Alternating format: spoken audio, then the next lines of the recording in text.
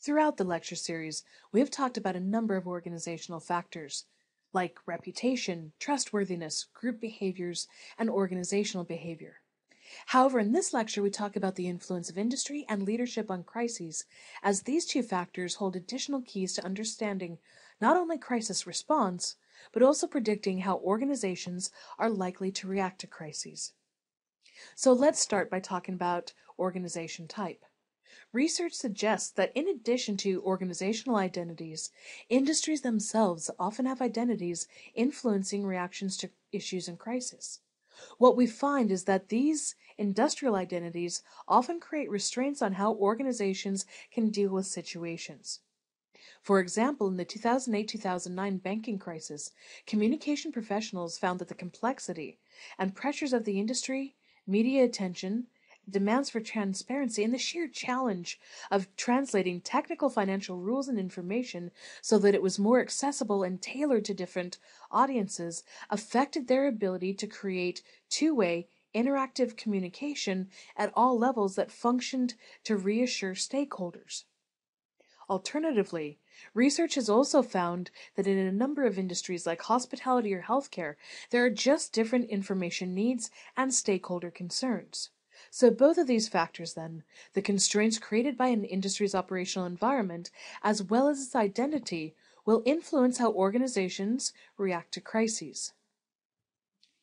Industries also contribute to an organization's capabilities, identity, but especially to its reputation. There is no clearer example of this than the banking industry after the financial crash of 2008, where the industry's negative reputation created credibility problems throughout, no matter the particular work of any financial institution. Industries affect organizations and their experiences with crises.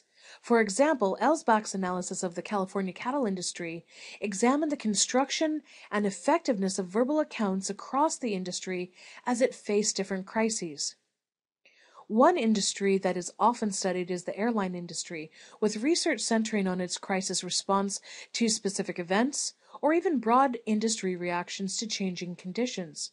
But there are some similar studies across different industries with travel and tourism, auto, manufacturing, financial, sports entertainment, and technology industries often studied. Alternatively, it's also useful to think about industries in terms of experiences in managing crises. So thinking of industries as either being crisis prone or non-crisis prone is a useful distinction.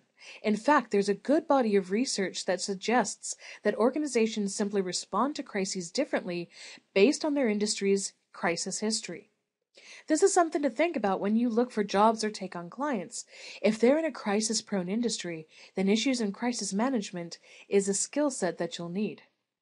Previous research has identified seven industries that tend to be the most crisis prone, including finance and insurance, professional, scientific, and technical services, information like telecommunications, computer software and hardware, transportation and warehousing, manufacturing, mining, and travel, and consistently these findings suggest that a history of crisis changes the way that organizations react to crises.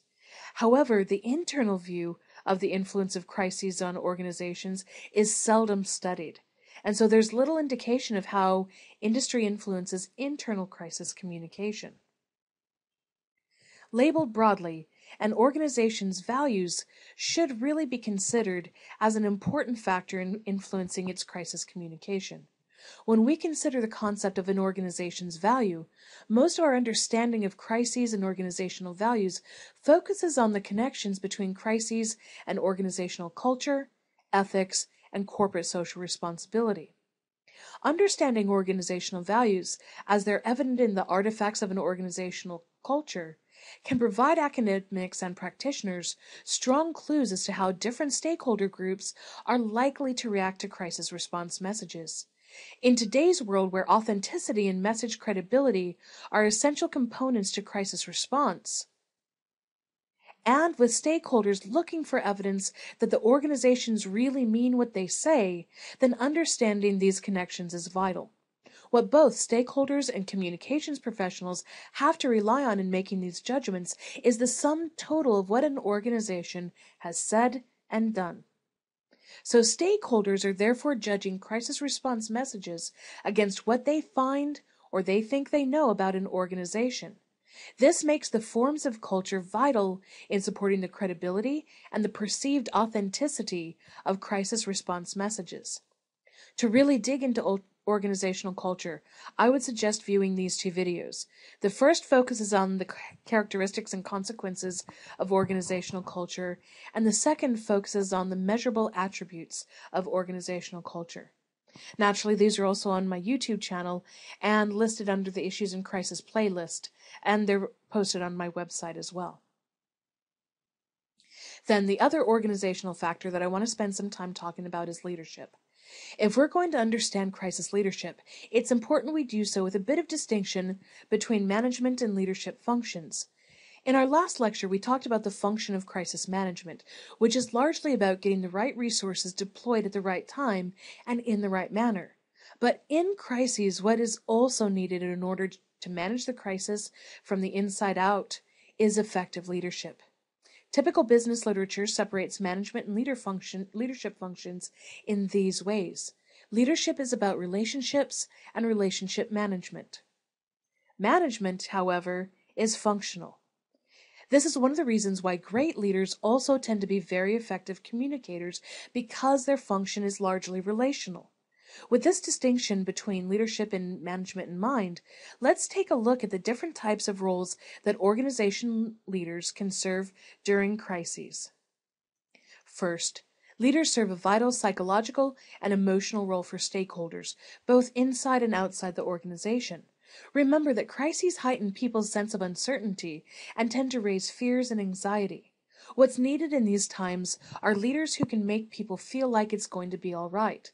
Brian Gilvary, the CFO at, for BP during the 2010 Gulf of Mexico crisis, talked about the most important thing he did during the crisis was to reassure his teams so that they could focus on shifting the company's assets to be able to free up capital to deal with the crisis.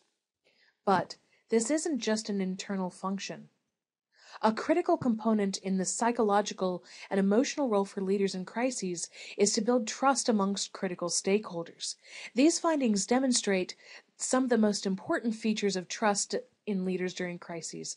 So if you take a look at what people expect to find, they demand someone who will follow through on their promises, seem transparent, give credit where it's due, and are generous with criticisms, meaning that they don't throw people under the bus. More than that, though, effective crisis leaders also talk about their organization's tough times, demonstrate decisiveness, allow others to speak and participate, and simply do good work. If we take a look at this list of factors that most influence trust in a leader, it's not hard to see why effective leaders have to be good at managing relationships. All of these are about inspiring confidence, and more importantly, about being relatable.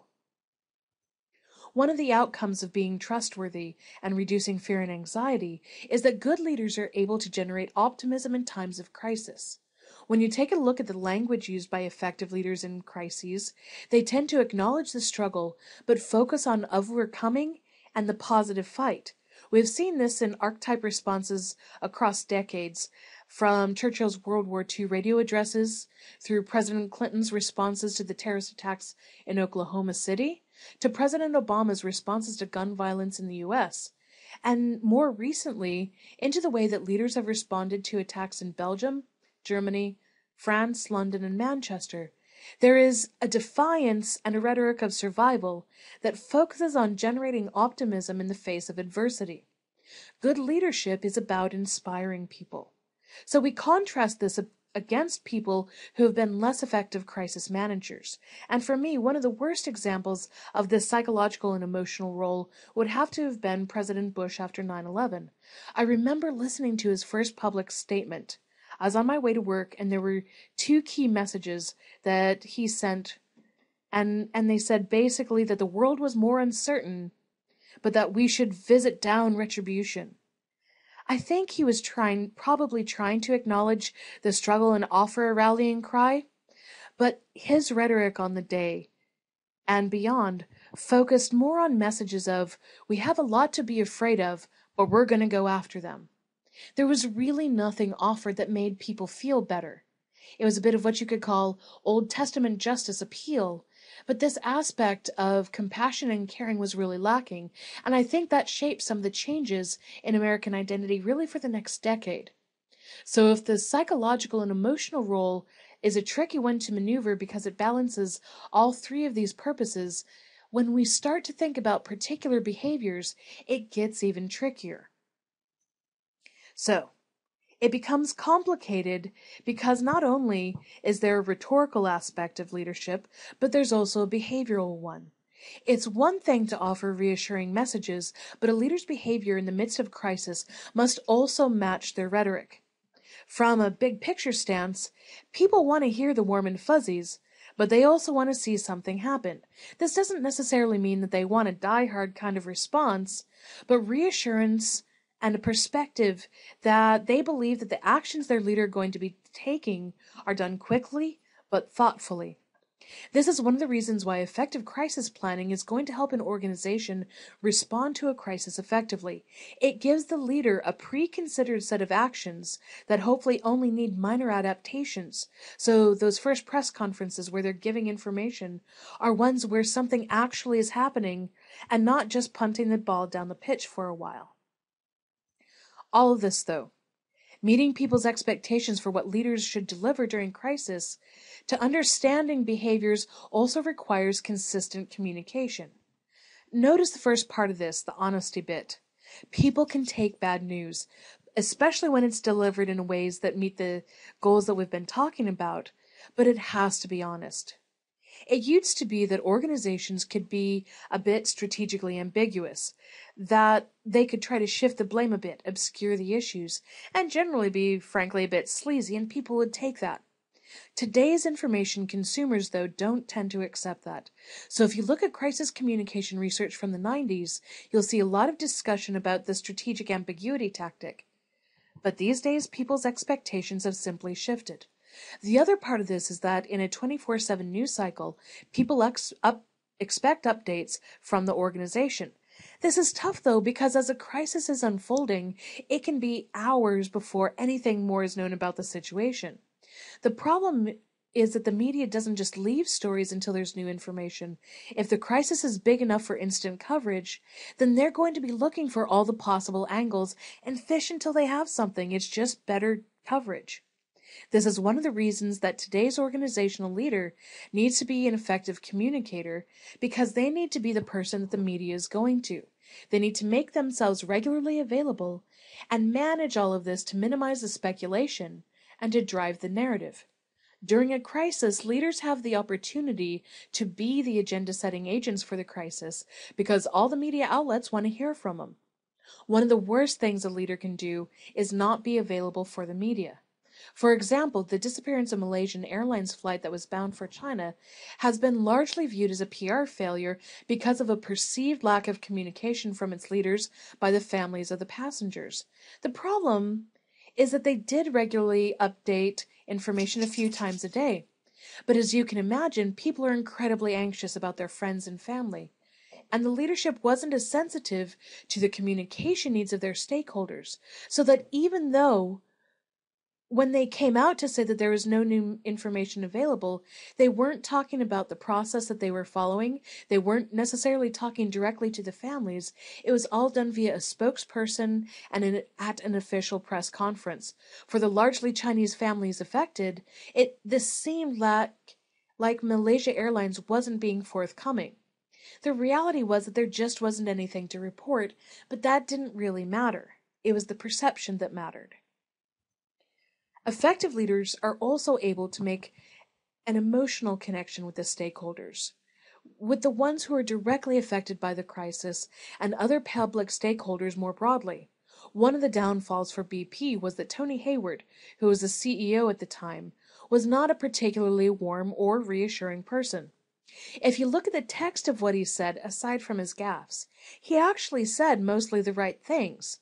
It's just that his communication style failed to provide the reassurance that the external stakeholders needed. He really failed to emotionally connect to people because, frankly, he came across as an overly stuffed shirt, cold person. Finally, in order to be able to meet the psychological and emotional role of crisis leadership, leaders need to be inspiring. So they need to go beyond just making us feel good. They need to make us feel like we're connected to the success of the crisis being managed. When we're talking about inspiration, we're really focusing on charismatic leadership and people who lead their companies through challenging times. Certainly, Steve Jobs was an example of a charismatic leader, but he wasn't the only one in the technology industry who was.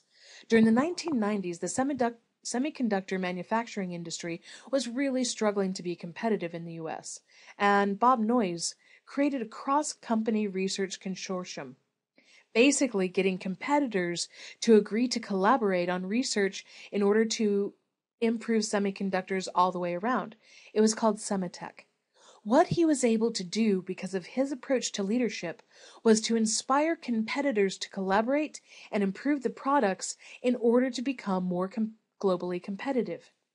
These leaders, like Noyce, like Nelson Mandela, are able to be successful advocates within their organizations and also outside of them because the same characteristics that draw people to them within their organizations also tend to make them appealing to media outlets and other kinds of stakeholders.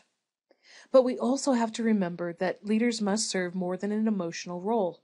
They must also serve functional roles. Now, that's not to say that the same person necessarily needs to be the emotional and functional leaders.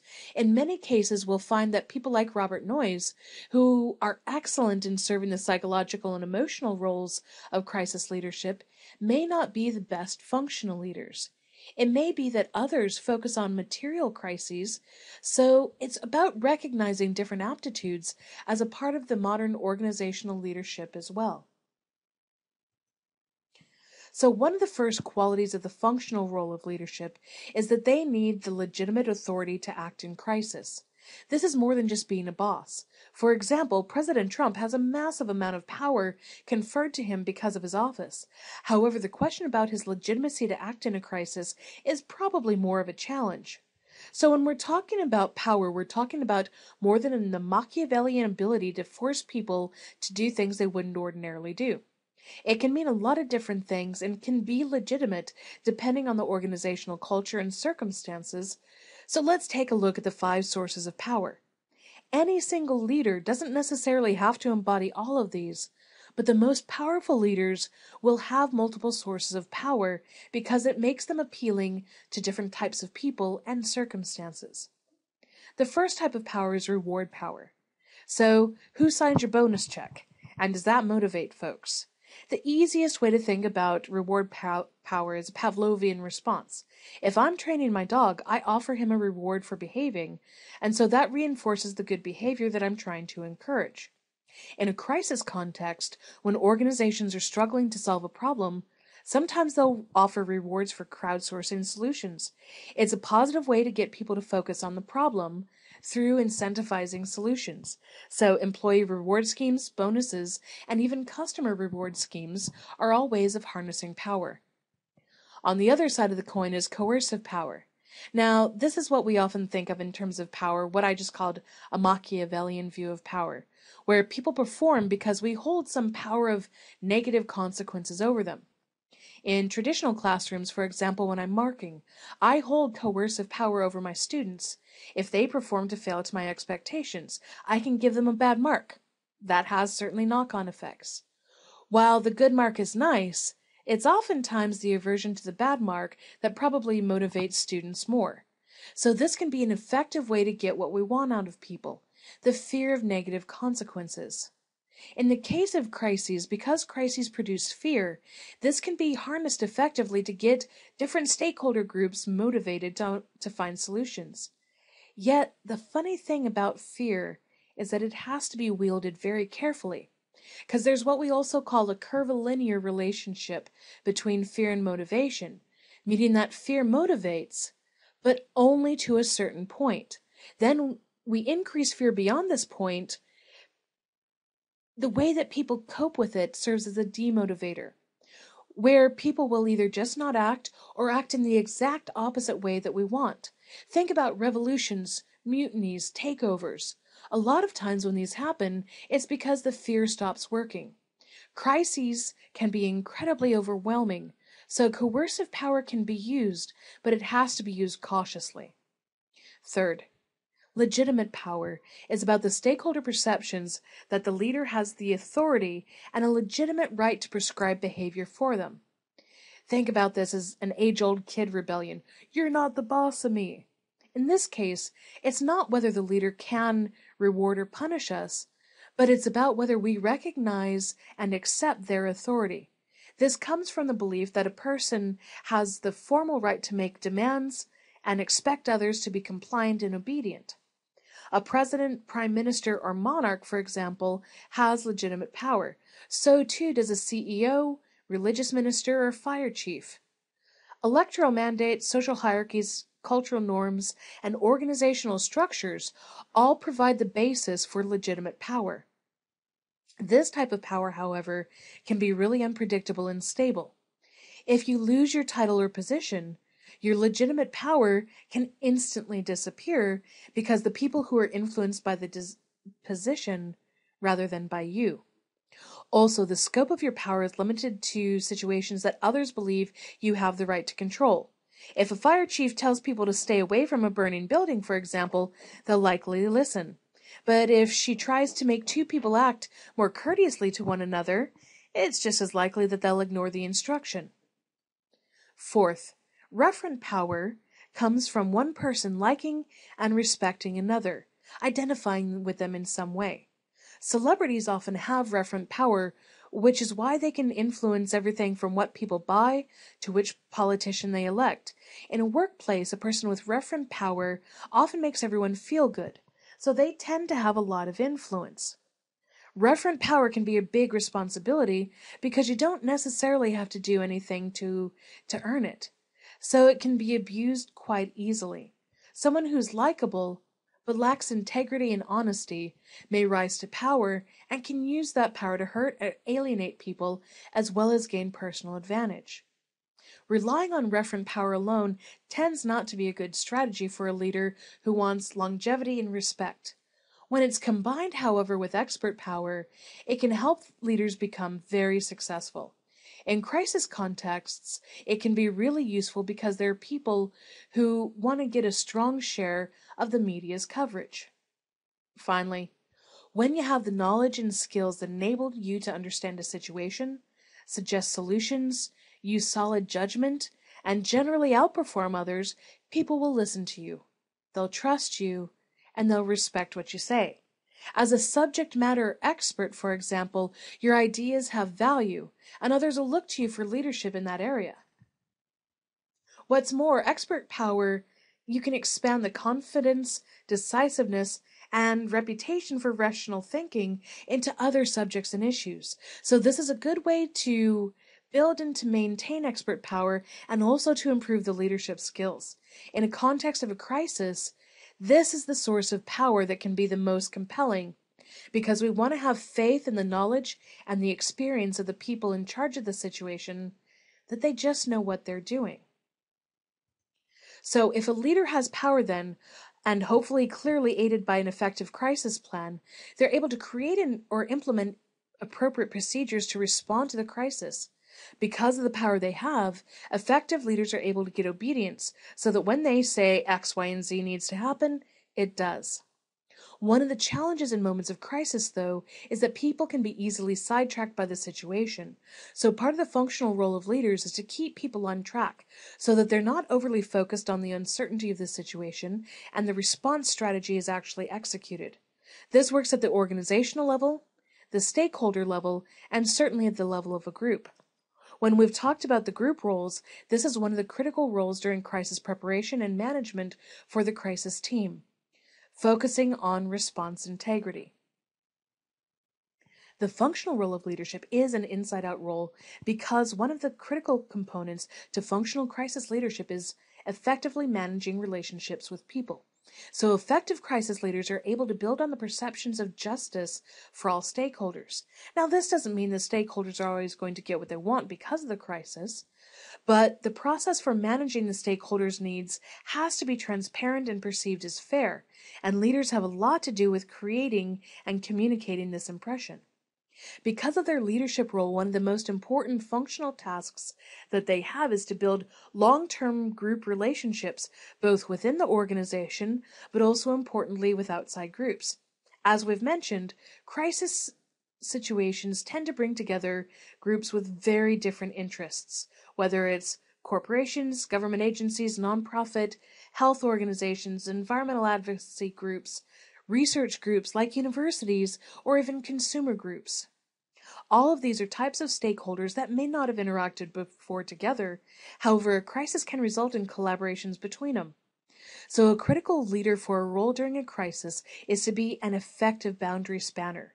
So that once the connection to these stakeholders is made, when possible, they're maintained, because these relationships often represent important partners for future issue management, innovation, as well as managing new rules and regulations.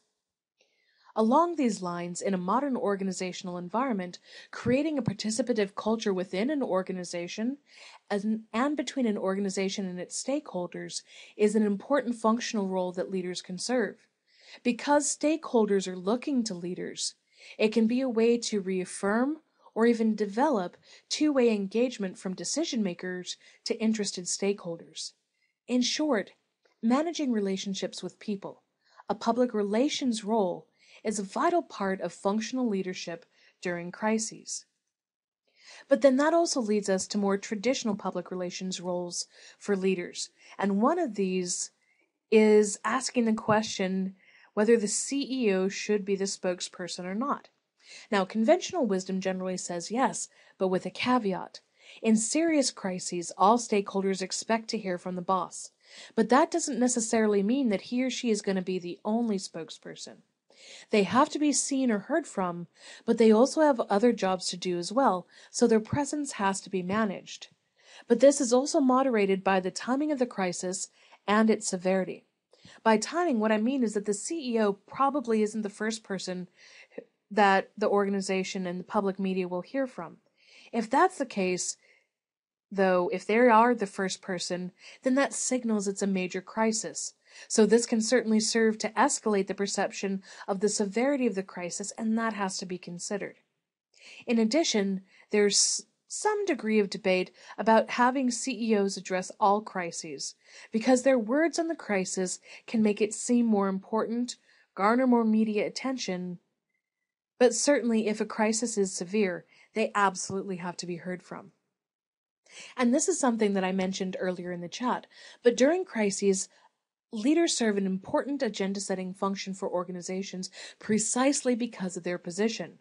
When they're effective communicators, they're able to get their messages out, additional media coverage, and to build a credible narrative about the crisis itself. Of course, all this requires that organizations and their leaders be truthful ethical, and stakeholder focused in their communication, but when they are because of the important roles that leaders play the psychological or emotional, the functional, and the public relations roles they have the singular opportunity to make really the difference for their organization during crises. However, as we've seen many examples of with pre- people like Travis Kalanick from Uber, Tony Hayward of BP, and probably the most obvious of all, President Trump, is that when leaders fail to serve these roles, and in all three of these guys' cases, they have become the source of crisis for the organization. So it can genuinely damage their organization despite any other factors. If you want to take a look at some of the other readings, the sources highlighted throughout, and these ones here are ones that I would definitely recommend.